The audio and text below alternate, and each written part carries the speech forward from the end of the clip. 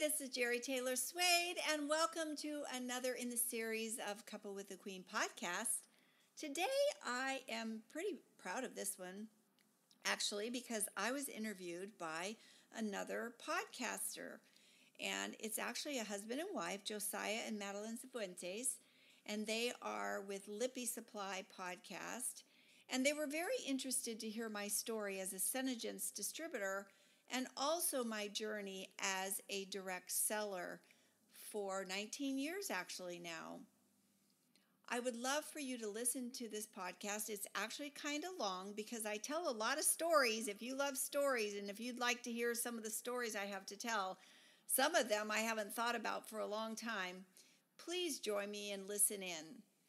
If you enjoy what you heard or if you learned something from it, please comment and also subscribe to my podcast for future episodes. Thank you so much.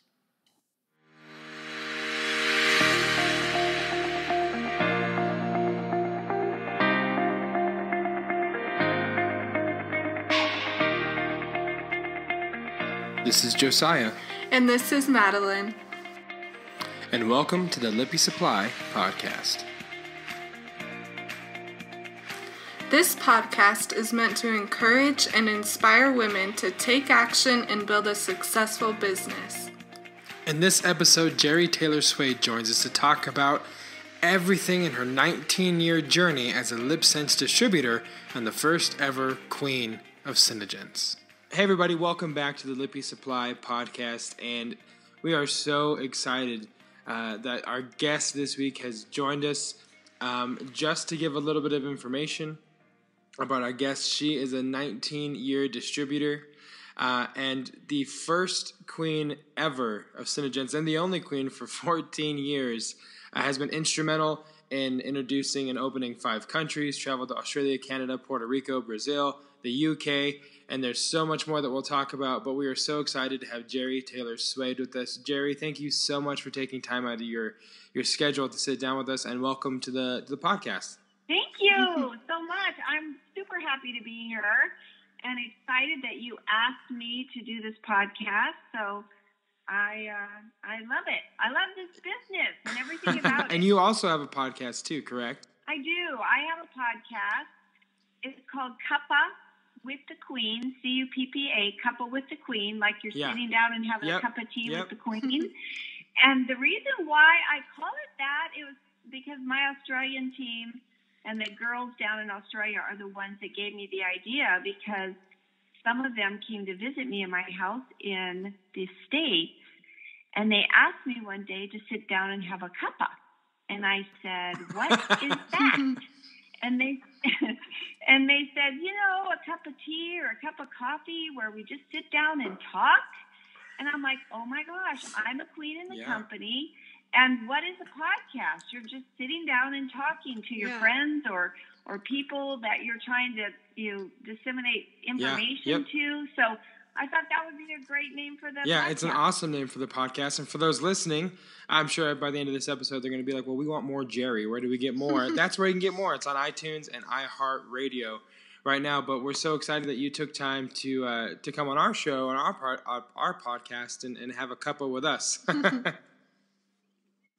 Too, and I'm having mine right yes. now. so, um, before we kind of get into uh, the details, for those that are listening, that you might they might be new to you, who you are, or those listening who know who you are but might not know much about you, um, tell us a little bit about um, kind of a thirty thousand foot view. What's life like for you? Who you are? What you're involved in, so on and so forth. And then we'll kind of go into the details uh, a little bit deeper. Well, I am a wife and a mother of two. My son is 37 and my daughter is 34. And I'm a Mima of four.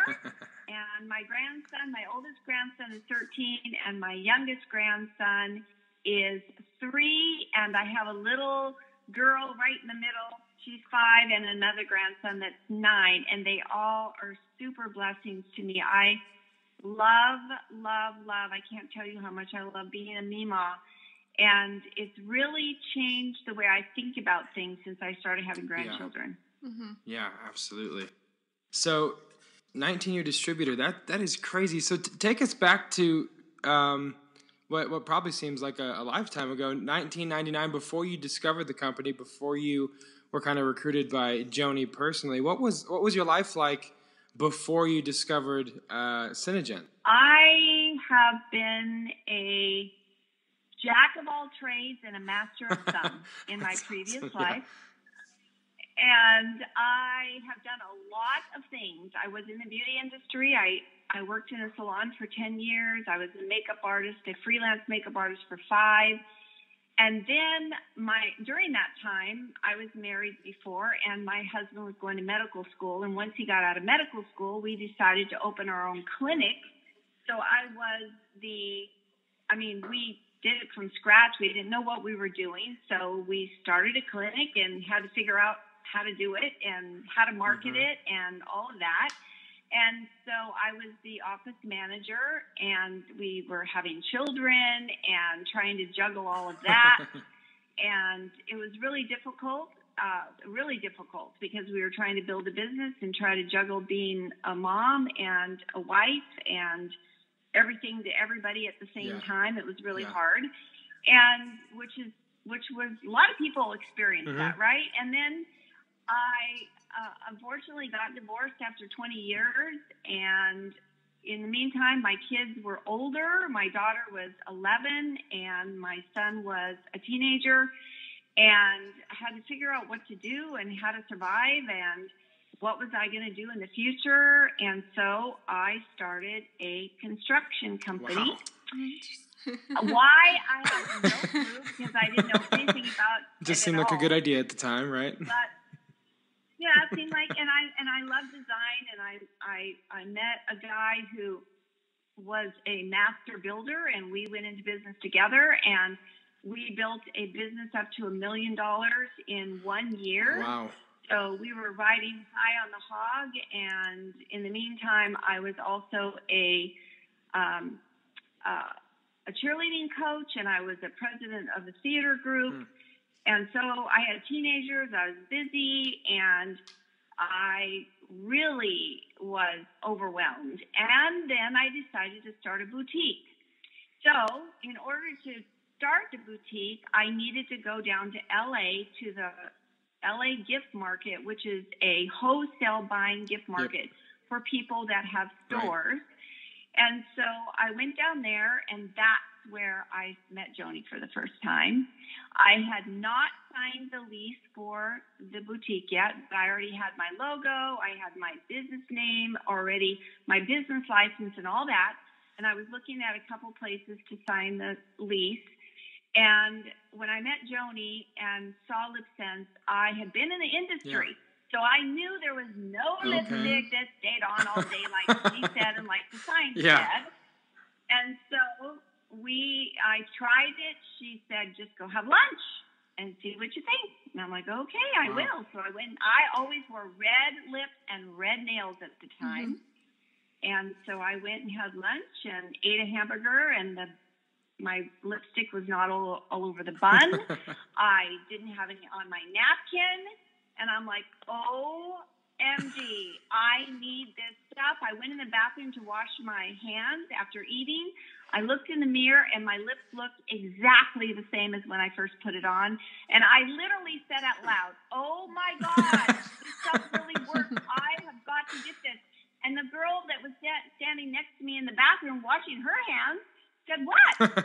And I said, this lipstick, I just ate a hamburger and it stayed on. She goes, I need that. And I said, so do I. Let's go get mm-hmm. some. Yeah. So I grabbed her hand and took her with me. And I had no idea I was wowing. And I had no idea that I was doing what we're supposed to do is open our mouth and tell people what we have and what yeah. we're doing. I just knew that every woman in America would want this and I was going to have it. And so I went back and I said, because it's a wholesale buying show, I said, What's your minimum? Because I was told to say yeah. that.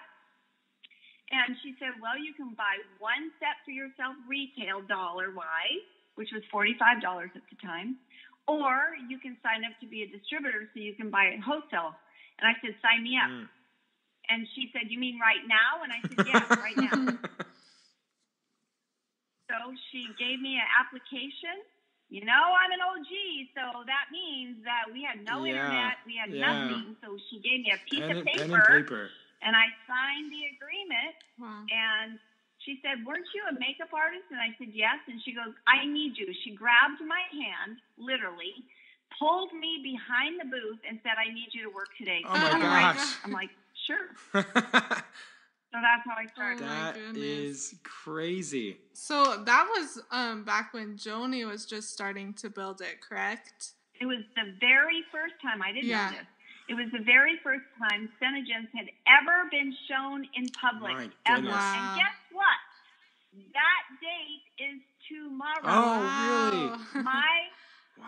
That's crazy. My anniversary is tomorrow. Oh my gosh. That is that is such a crazy story. That's the kind of stuff you see. I mean, you know, written for movies or mm-hmm. sitcoms or TV shows where you know you go and the girl eats a cheeseburger and then it suddenly has this revelatory moment of I need this lipstick and tells everyone around her. So that yeah. wow, that is so cool. And everything everything in my life changed. I called my husband and I said, "I'm not going to do a boutique." He said, "What?" I said, "I'm going to sell mm-hmm. lipstick." He said, You're going to do yeah. what? and I said, I'm going to sell lipstick. And he said, Trust, I said, Trust me, you're going to love it because it won't kiss off on you. And I wore red lipstick, mm-hmm. yes. remember? So he said, Okay, yeah. that sounds good to me. and then at the end, at the end of that day, Joni said to me, I'm going to Chicago in three days and I have no one to go with me but my sister. Can you go with wow. us? Wow. And I said, well, I need to talk to my husband, but I think I could move my schedule around. Um, and she goes, but I can't afford to pay you. You have to go yourself. Right. And and I'm like, uh, okay, because Joni has zero money. Mm-hmm. Like I'm talking zero yeah. money. And so I saw I saw the opportunity and I jumped on it and I'm like, I'm going to do this. And I, I knew I was going to do it. So I just bought a ticket, even though it cost me a fortune because it was only three days right. from then. And I went to Chicago and I did the whole trade show and I started signing people up. I didn't understand anything about the industry of direct sales. Yeah. I didn't really understand network marketing or MLM. Yeah. I just knew that you had to sign up to be able to buy at wholesale. That's all right. I knew. And that's that's what I told people. And my enthusiasm is what got me started because I didn't know anything about anything. And we had no training. Joni handed me a baggie with six lip, color, lip mm-hmm. colors and said, let me know when you're successful. That, that was my training. wow. You know, I went to a trade show and I listened to her. And then after that, I went back to Washington State. I was on my own. I, I was totally on my own. We had zero Nothing. We didn't have a website. We didn't have anything. We had no printed material. I had to make up all my own stuff. I had to print out my own directions on how to use the product. I didn't I I just I knew that I wanted to do it, so I had to figure mm-hmm. out a mm-hmm. way. So how did you start um kind of building a team? I mean, you didn't have any guide or direction. So what did you start to do to start recruiting people and getting the product out there, wowing people?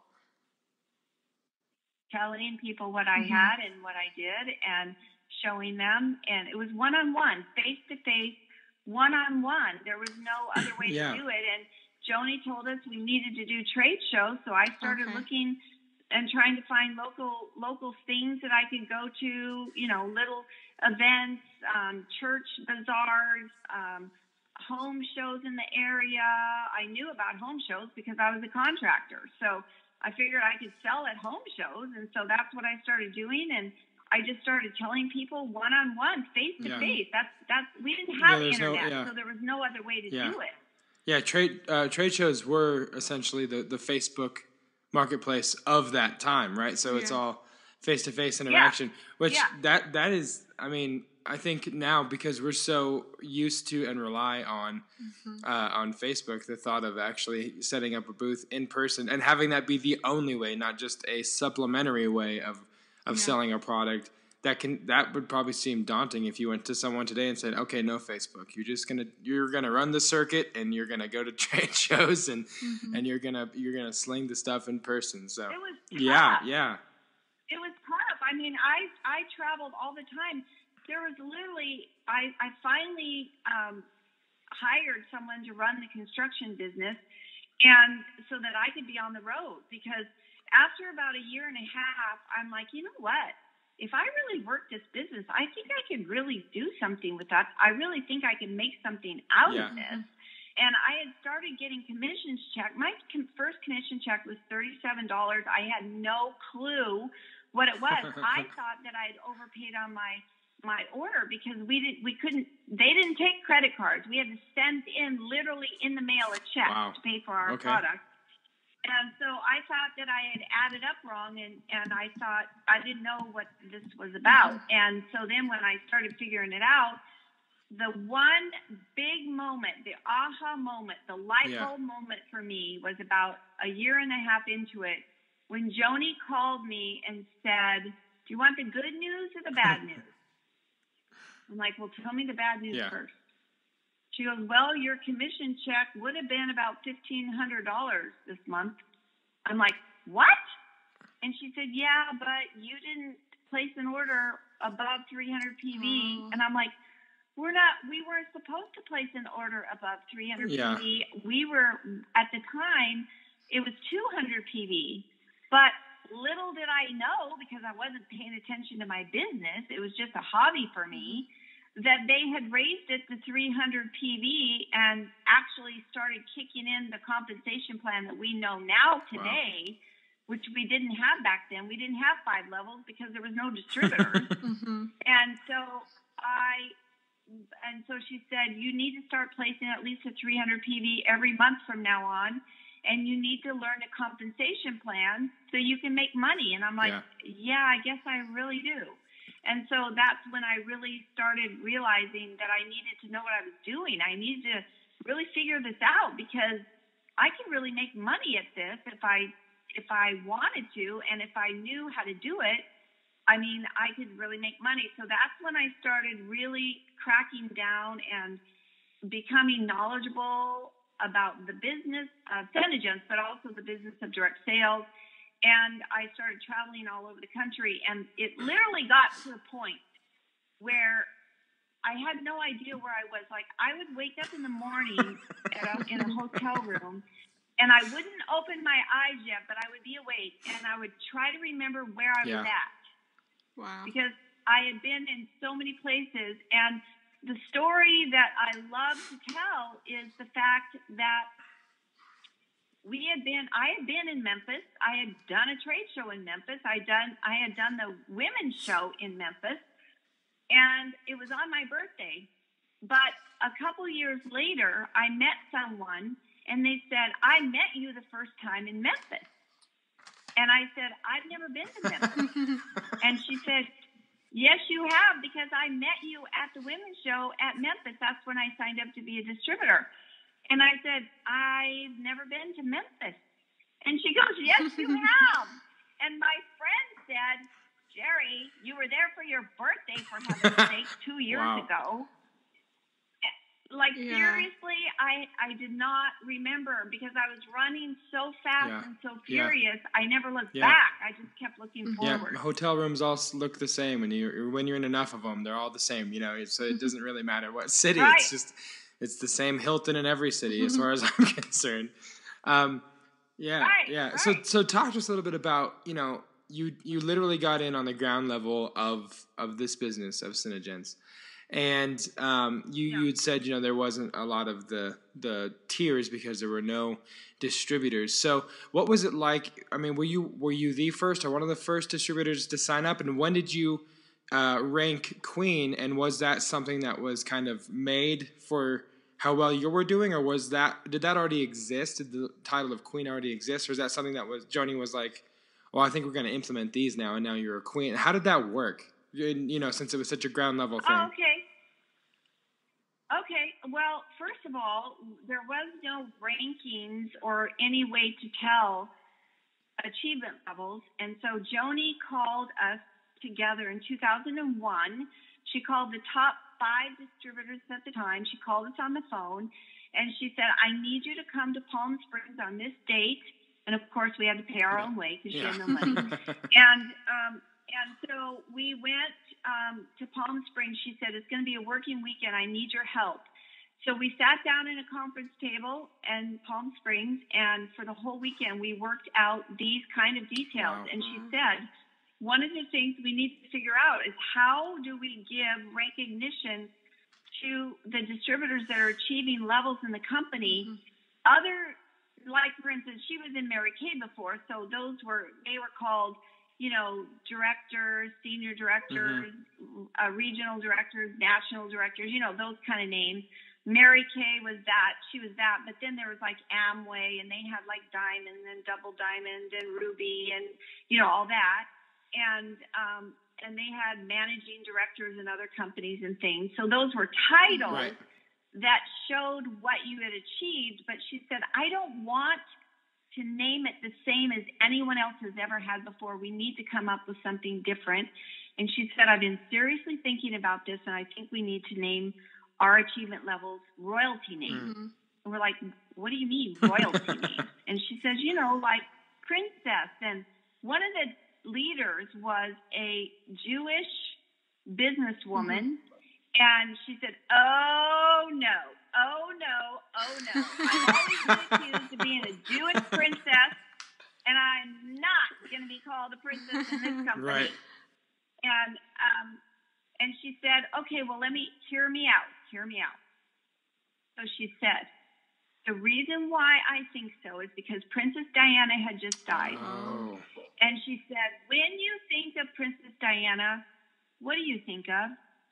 What do you picture in your mind besides her beauty? And you, you know, you can see yeah. her, her yeah. face. But what do you think of when descriptive words? What do you think of? She's beautiful, but she's beautiful inside yeah. and out. She is and she is a role model. She is a leader. People look up to her. She has grace. Very you know, elegant. She is yes. um, very elegant. She gives. She cares. She is um, philanthropic. She's all of those yeah. things. That's what I see my distributors like. That's that's how I want to see mm-hmm. every single distributor wow. that comes into our company that are here now and that are going to come into the yeah. future. And we're like, okay, all right, let's figure these yeah. names out. And so that's how we figured it out. We figured out Maiden and, um, you know, the Road to Royalty and then Royalty and then, you know, the Maiden, the Royal, yeah, all of those names. Um, we figured it out and we listed them. Joni was taking notes and we were throwing them out there. And then Crown Princess and then Queen, but we never like five million dollars. She's the one that set the numbers right. after we met that day. They weren't set okay. that day, and so we never saw it again. We never we never knew that we were achieving these levels because it was so new, right. and so um, we didn't have a newsletter, we didn't have the internet, we didn't have a way to track anything. So none of us knew if we were achieving them or mm-hmm. not. And Joni called me. Uh, she called me. Let's see. I was 2002. The seminar 2002 when I was crown queen. So she called me around January or February and said, "You need to bring a gown, and you need it to be the most beautiful gown you've ever worn before in your life." And I said, why? And she said, trust me, you're going to be, you're going to want to know. You're going to want to be gorgeous. I'm like, okay. She didn't want to tell me. so when I got to seminar, she said, I need you to come in a day early because we need to do some photos. And I'm like, okay. So that's when I found out that I had made queen. Wow. And they they didn't crown me because they didn't have crowns at the time. they didn't give me a crown. I and Joni said, "You're gonna have to go buy a crown." I'm like, "Okay." That's awesome. Like, oh, that is so funny. She had yeah. no money. She had no yeah. money. That's so funny. So, so I said, so I said, well, what kind of a crown? She goes, a big one. yeah, the biggest one you can find. So, yeah, so that's how it that's how it was, and you know, after that, I nobody. Uh, nobody thought they could ever achieve that level. It was, mm-hmm. I always say this because it's so true. It's like in the Olympics, and I have a podcast about this. It's about it's like the Olympics when someone breaks a barrier of some kind, someone breaks a record of some kind, and then no one thinks that they can ever break that record again. Yeah. And for years, nobody does. Yep. Nobody breaks the record because they nobody thinks it can ever be yep. done. Yep. Right? And then and then someone finally breaks that record. Yeah. And then right after that, a whole bunch of people break that record and, and make new yeah. records. And yeah. that's exactly what happened with me at SeneGence. I was the only queen for 14 years. and then people started breaking the records, and oh my gosh, did they break those yeah. records? Wow. Yeah. So what was um you said was the first seminar in 2002? No. It wasn't the first. First out the first seminar the first seminar ever was in 2000, but it wasn't called seminar yet. It was just a celebration of our first year of business. Okay. And it was in the parking lot in under a tent. Wow. Wow in the parking lot of this SeneGence's building that just had opened up. Okay. Before that, it was in Joni's trailer. Right. And so it was just in a parking lot, and she had hired a DJ, and we had a little bit of food, and we had a few recognition things, and that was it. And that was our first so called seminar. The next one was our first official seminar. Yeah. And then in that was in 2001 and then 2002 is when I became okay. queen. How many distributors were at the first seminar that you know wasn't called seminar yet? But how many of you how many of you were there in that parking lot under that tent? That, uh 25, wow. 30 maybe. Wow. Hmm. And were you was was seminar something also that Joni had an idea for that she called you guys in to help with, or was that just something that she was like, "Hey, we're just gonna get together and do this because it's a you know, at that point it was just a small celebration, so maybe not as much planning needed. How were you involved with making seminar into what it has become uh, as we know today? No, okay. no, no, no, no, no, no, no, no, no. It was just Joni and her peeps that she had working okay. with her. They they're the ones that did it, and then the next year she had hired a couple staff people um, that helped her, and they were kind of the original corporate yeah. people and they've left since then, but I'm still friends with all of them. I mm-hmm. still am in contact with all of them. And because they were they were helping get the company started like I was. We were all pioneers yeah. together. And so we we I kept in touch, but Joni started establishing team and she went through a lot of team members. I mean from a corporate standpoint. Right. She's gone through a mm-hmm. lot over the years. Like I'm serious, Joni has the stick to itiveness, but she also had a vision that she would not let die no matter what came right. her way. She kept going, and that's the key for me as a distributor. Same as her as the corporate owner of the co- corporation. You cannot let the negative, mm-hmm. you cannot let people that try to mess your dream up. You cannot let any of that happen. You have to keep going. If you believe, if you have decided that this is what you're going to do. Joni decided she had a vision. She was not going to let anybody get in her way of that vision. And me as a distributor, a pioneer distributor, or any distributor, it's the same no matter if you just started yesterday.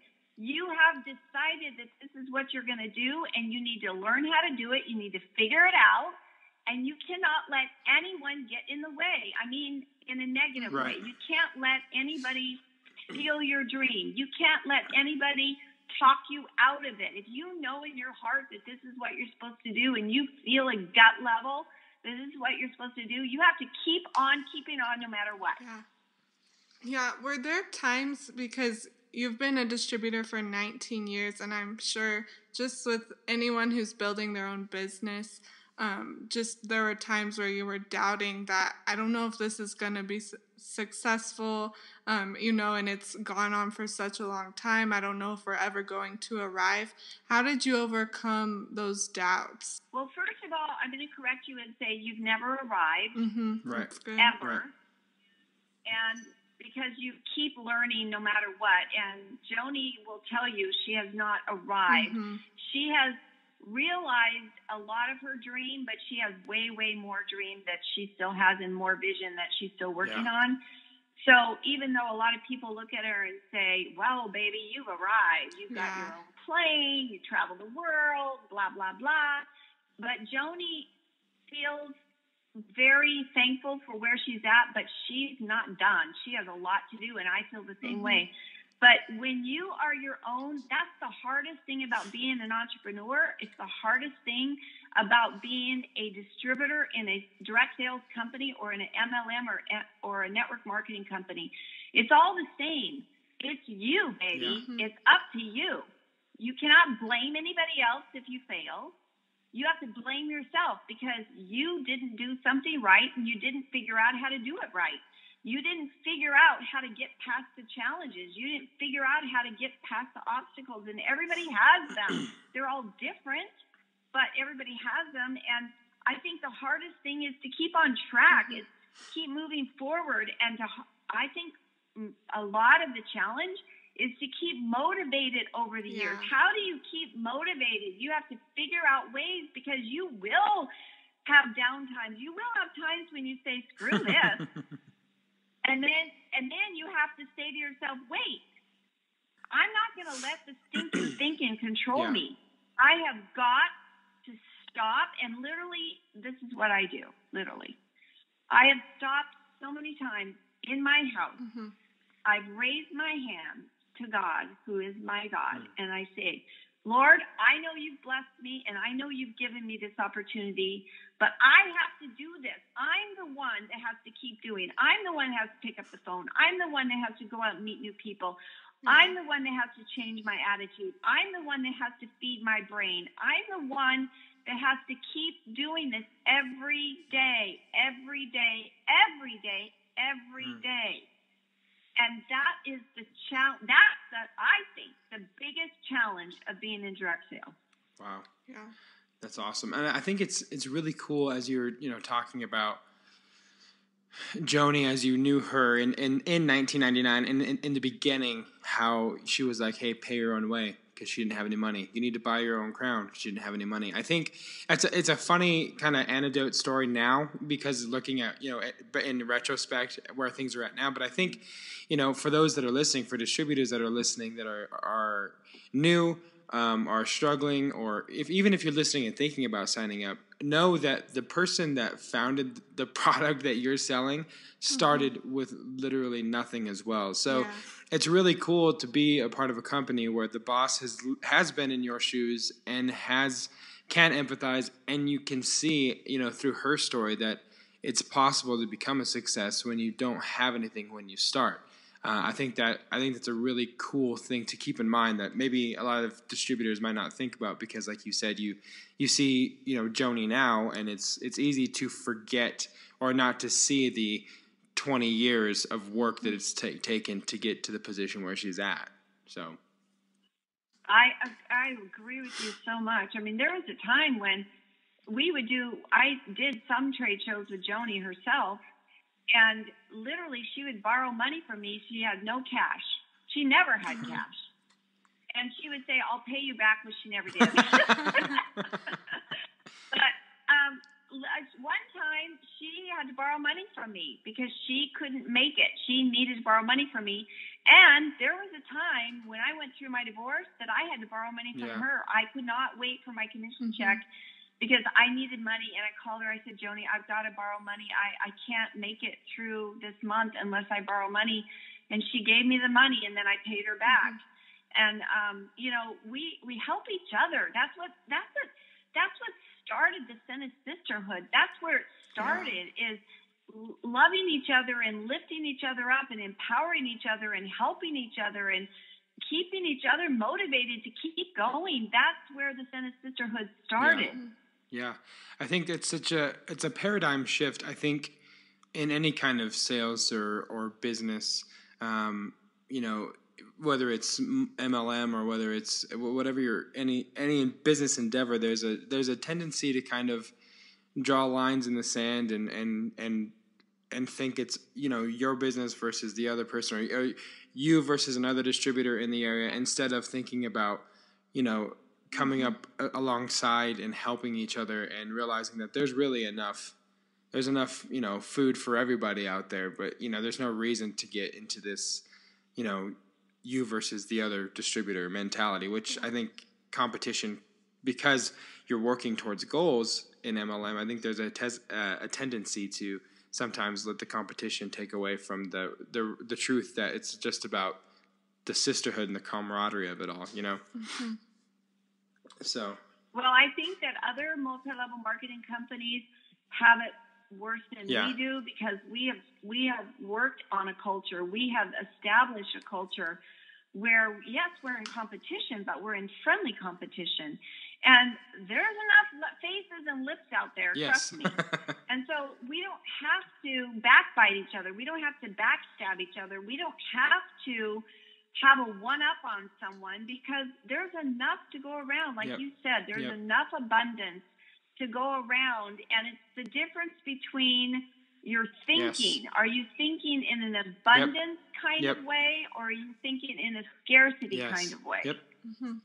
Yeah, that's so true. I, I can, uh, I mean, I, am obviously not involved in, in SeneGence necessarily, but I am, you know, I'm, I'm a business owner building another business and it's easy to get into that scarcity mindset, and then you end up operating out of fear instead of out of the provision that is, is out there for you. Right. So. Mm-hmm. I want to talk to you about how you've, you know, kept up with the times and how things have changed with social media and everything moving to, you know, an internet-based back office for SeneGence and just kind of how things have changed over the last 19 years of being a distributor. I want to talk to you a little bit since, you know, you got it on the ground level and obviously the company has has changed and evolved in ways that you or Joni probably couldn't foresee, or maybe Joni did, and that's why we're here. That you know she had the vision. So, but what are some of the obstacles that you encountered as the business started to the industry started to grow and and change, and SeneGence had you know kind of evolved into what it is. What are some of the obstacles you encountered along the way, whether it was you know the trade show grind or the inter- introducing the internet and all of that kind of medium into the whole formula. Uh, talk to us a little about some of uh, some of that process as you've seen things change through the years. It's real. It was really, you know, you have to learn. You have to keep learning. You have to keep growing. You can't think that you've arrived, and you can't think that you're only going to do it a certain way. Mm-hmm. And I, I didn't realize that this business model of direct sales is probably the best tool to grow personally of any tool out. I mean, it's the best place, it's the best playground, so to speak, to really, really grow into the person that God created you to be. Mm-hmm. mm-hmm. Because you have to learn, you have to do new things, you have to try new things, you have to figure out what works and what doesn't. And you know, we started out at trade shows. I love doing trade shows. I love yeah. I love meeting people. I love traveling. And yeah, it's a grind and all that, but I really liked it. Yeah. But then when Leslie Boyd Bradley came on board and she said, Okay, you guys, it's time to change. Now Joni knew that that she told us there's gonna be a time, girls, when it's gonna change. The business model has to change because trade shows are not duplicatable for the masses that are going to be coming into the business. And so we have to teach people how to build in their own backyard. We have to teach them how to do a, a, a party. And I'm like, I hate the word party because it's reminding me of Tupperware. Yes. And I'm like, can we just call it, let's just get together and play makeup? And that's where this, the saying, I'm the one that came up with that saying. Mm-hmm let's just get together and play makeup because it takes the pressure off of hosting a party, so yeah. to speak. Yeah. And and but I didn't want to change. I said no, no, no. I'm not. I'm not doing those. I'm not going to be a. Uh, no, I'm not doing that. I'm not going to people's houses. I'm not. I'm not going to do it. Yeah. And Leslie said, "You either change or you die." Hmm. And when she looked at me and said that, I'm like, I'm not going to die. I am going to learn because yeah. I am not going to die. I, I yeah. have worked too damn hard. Yeah. I am not going to yep. die. I've got to. I got to figure out a way. I got to figure out this new way of doing it.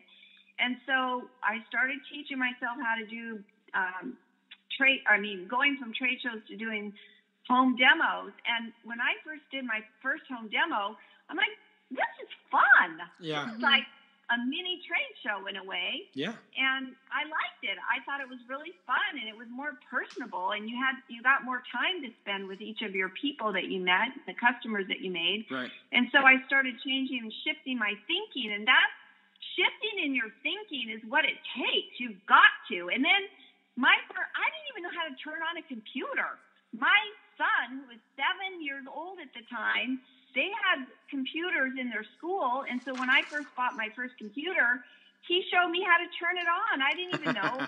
I didn't know the difference between a web address and an email. I I didn't know anything about anything. Mm-hmm. And so I sent my very first email to another distributor. I found out what her email was and I called her on the phone and I said, Do you have an email? And she said, Yes. And I said, What is it? I'm going to send you an email. And I was so proud of myself when I sent my first email. Wow. You know, and. I didn't, and we faxed everything. Yeah. We did everything by fax. And that was pretty cool to be able to fax in our orders instead of sending them in the mail. Yeah. And then, you know, then um, it, it was just, you have to learn. And, you know, this whole social media and all that stuff, like I had to learn how to do everything, and there was no one to teach me. There yeah. was no Joni had no systems in place. There was no training whatsoever. And she started writing yeah. the system. She started writing the training manuals. She and it took years and years and years and years. And only two years ago, when she stood on stage, and you might have been there at seminar, she said, I feel so good because now I can relax a little bit because all the systems are in place. Yeah. Yeah. That wow. was only two years ago. Wow. Wow. Yes. So all the systems that we have now, it's so much easier to become a distributor now. mm-hmm. Holy cow! Yeah. You have everything. I know. You have everything you need to be successful. There's nothing that's not there. Yeah. You yeah. have all the training. You have access to everything. You've got YouTube. I I learned how to do YouTube. I'm like, okay, I need to learn how to do YouTube. It yeah. looks like that's going to be maybe the future of, of doing business. So I got to learn how to do it. I never knew what I was doing. Uh, my first YouTube videos are horrendous, but I, I didn't. I didn't know what I was doing. I didn't know yeah. you had to have lighting. I didn't yeah. know that you had to have good sound. I didn't know any of that. And then, you know, you just learn as you go. And then, as far as my podcast goes, I thought to myself, in order to be able to reach the millennials in a way to mm-hmm. where they will hear what you're saying, yep. you've got to do podcasts because they listen to podcasts constantly. They've got their earbuds in their ear 24 yep. 7 practically. Yep. And so I'm like, I need to do a podcast because I want to get mm-hmm. the message out. I want to get how amazing this business model and SeneGence is. I want to get it out to the new distributors that come on board. I want yeah. them to to have a way to listen and and it be you know um, it's sort of intimate when you're talking into somebody's ear sort of yeah. intimate you know? oh yeah totally. And i wanted to learn how to do it so i decided i'm going to do a podcast. Okay how the hell do i do that? I don't know but i'll figure it out yeah. you know? Yeah. Yep. So, and, and how's how's that gone as far as you know Uh, and I, in particular the podcast as far as like the followers, subscribers? Has it been something that has has caught traction for you and in the YouTube videos and all of those new mediums that you're that you've decided to learn? Has that? I mean, I have to say her podcast is the inspiration that gave us to do this podcast. Yeah. So there's one yeah. thing for you. well, Sarah, oh, Sarah, you know what? That is so. I'm blessed by that. You know why? Because oh, thank you. Because mm-hmm. I I love what I do and I love to inspire yeah. and to uplift and motivate people to get out there and be the best that they can be. And for me to have inspired you to do this podcast, that's that's the best blessing I could ever have. Yeah. and and so thank you for sharing that. And you know, am I mad that you copied me? No. Because right. your podcast is way different than mine. Yeah. There is enough people, there's enough ears out there for us to have listened to us. Yeah. And um, I don't know how my podcast is doing. I don't. I'm not a numbers person, so yeah. I never track anything. I just mm-hmm. put it out there. That's you awesome. know, I know there's people listening. Yeah. I know there that seminar this last year, you know, we had 8,000 distributors walking around the hallways and it was crowded. We, I felt like cattle moving from one class to the next. And I was talking to somebody that was next to me and someone said, Jeri, Taylor Swade. And I turned around and she said, Oh my gosh, I heard your voice first. Yeah yeah. And realized it was you because of your podcast, and I that's how I knew it was you. Wow. Yeah. And I'm like, wow, I didn't realize people were listening to my podcast. I had no idea. I just put it out there. I don't I don't look to see how many people listen or whatever. I don't even know if you can do that. I guess you can, but yeah. Um, I have uh, 15, I think, episodes. I'm I'm in the middle of putting up another one right now, and the new one is about sustainability in the business. How to say how to be sustainable for years and years and years in a, in a business like ours. And that's my new podcast that I'm just putting up right now. But I'm really glad that I have inspired you. And there's, you know, if you can create a legacy, and that's what I'm working on now, that's what's mm-hmm. important to me. Yeah. I my my shift, my focus, my my why has changed over the years, and my why now is so different. It's so different because I have grandkids now. I'm yeah. older. I'm in my 60s now.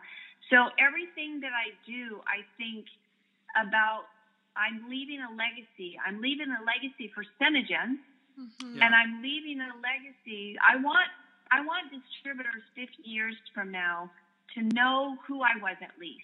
Yeah. To know that I was one of the pioneers that started the business. Yeah.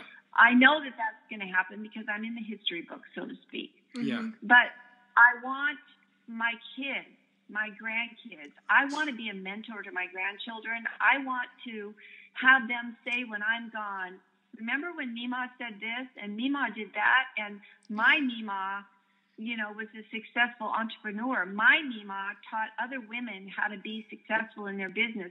My Mima was a YouTube star. My Mima was this. My Mima was that.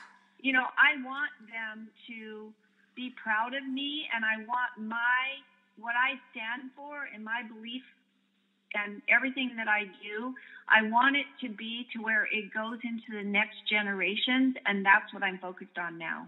Mm-hmm.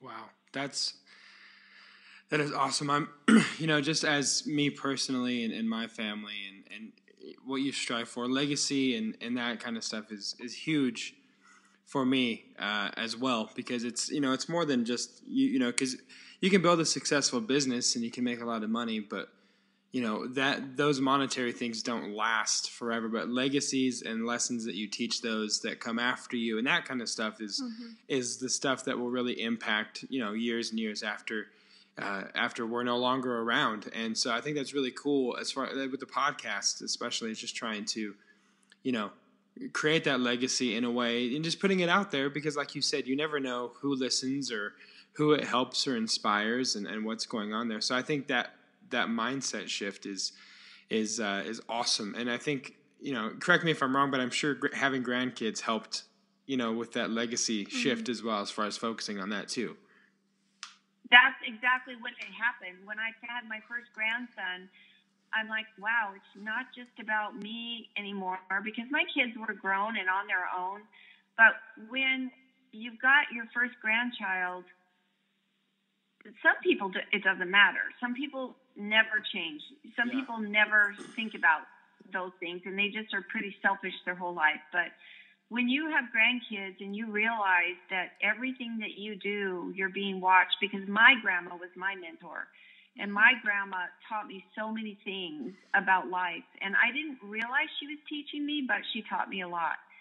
And I love those teachable moments, those very special minutes or two minutes or five minutes or 10 minutes when you have with your children it's one thing, but you're so busy just trying to get by the day mm-hmm. that your grandchildren, you have a little bit more time to take with them. And in fact, my grandchildren are going to be here this afternoon. The littles, my littles, I call them, the two youngest, and my son and, and his wife are coming to spend the weekend with us. And we have a weekend planned to create memories. Yeah. And yeah. memories are super important. Memories are are always in your head. You never, you, no one can ever take those away. You, your house may burn down and all your pictures go away. Mm-hmm. The internet may go away. FaceTime or Facebook may go away. YouTube might not even be around when my grandkids are older because yeah. there'll be some fandangled new technology that people yeah. are going to look at YouTube and think, "Holy cow, that's archaic." Yeah. But you know, the memories, no one can ever take that away. Yeah. Mm-hmm. Um, well, before we start wrapping things up, um, I know you said you have a podcast, which I want everyone listening to this podcast to go check hers out because it was the inspiration for this one. And I love it just driving and listening.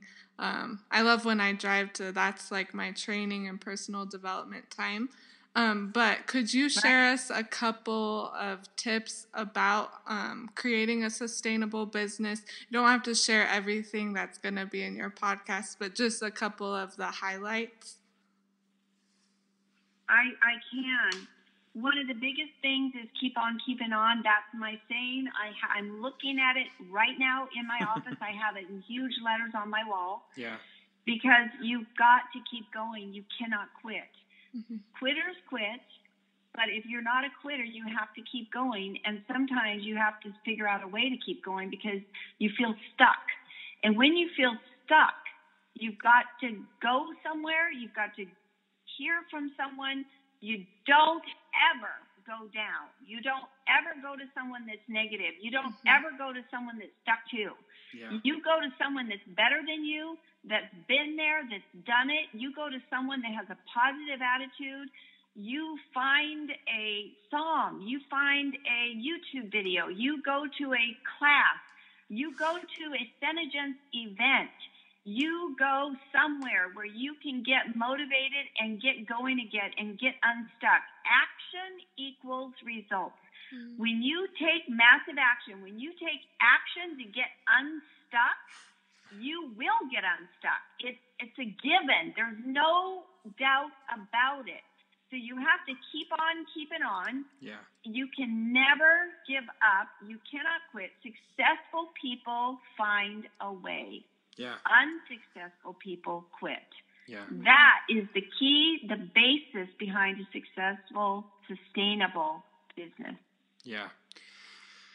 Wow, that is that's that, and just listening to you because you know you're you're so passionate about it because you lived it. You you've walked, uh, as we've said, you know during this the course of this interview, you got in on the ground level. You've lived, you know, SeneGence. You have seen it grow. You've seen it become what it is. So listening to you, uh, and coupled with your story, I, I know for me sitting here, I'm I feel like I am motivated to go take over the world and do something, ma- take a massive action. You know, yeah. um, so it's, it's yay, and hopefully everyone listening does too. Yeah.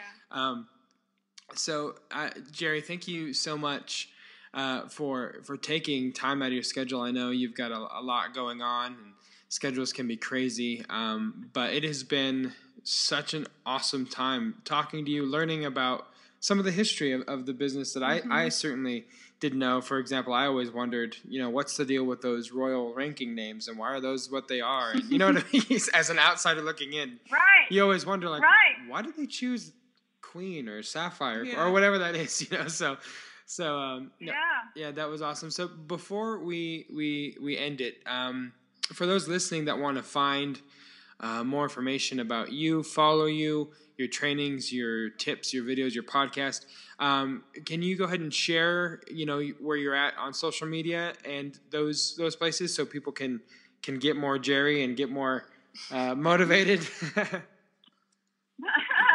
it's so funny because um, we were talking about this at a training that I was at just recently. Yeah.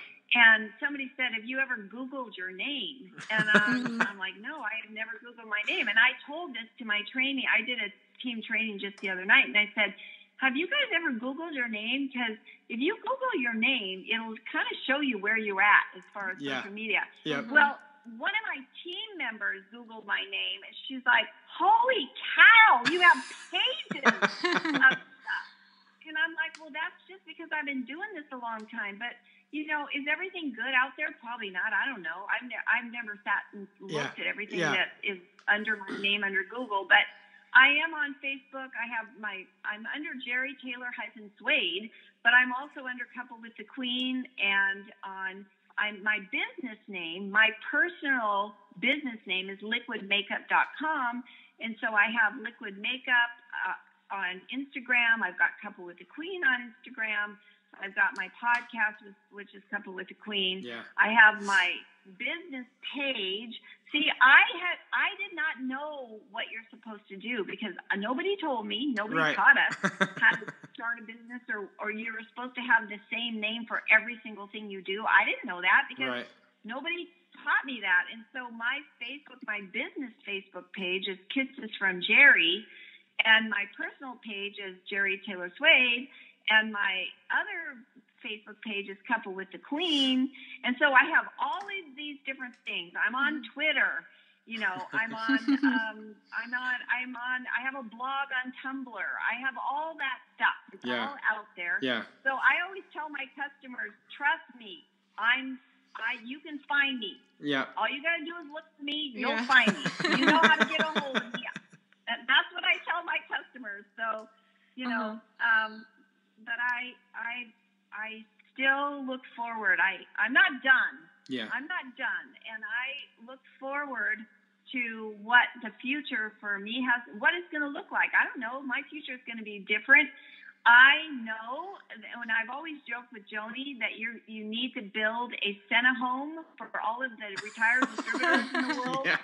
and um, and it needs to be blue, and we need to have like blue hospital gowns and yep. you know bling on our walkers yep. and things like that. and we've joked for years, but one of these days, I know I know it's going to happen because mm-hmm. I see it I'm either going to be walking across the stage in a walker or I'm going to be brought across the stage in a wheelchair and I'm still going to be there and mm-hmm. I'm still going to be enjoying the successes of all those people out there in the audience yeah. and I want them to celebrate with me for all the time that I've been with SeneGence and all of the things that we have gone through together.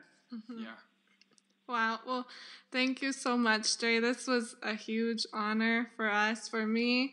Um, and please, everyone listening, go um, find her, listen to her podcast. And, you know, if your downline is struggling or you know someone that's in a rut, just play this for them so they can get motivated again and take action. So thank you so much, Jeri. We really, um, this was just super special for us.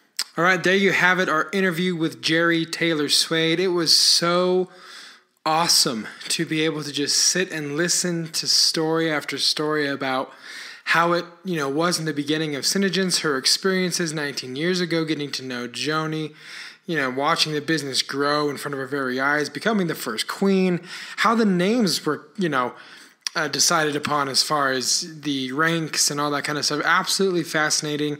Such an awesome awesome interview to be a part of, and I hope you guys loved it. I hope you guys gain inspiration from listening to it, or your girls, uh, rather. Uh, gain inspiration from listening to this interview and hearing how Jeri keeps going after 19 years and how her whys have changed, but each why is, is just as important as the last. And and it is such uh, she is such an inspirational figure and person, and I personally look forward to seeing her at seminar uh, when that time comes. So, for the Lippy Supply team, for Madelyn, I'm Josiah. Thank you guys so much for joining us again, and we'll see you soon right here on the Lippy Supply podcast.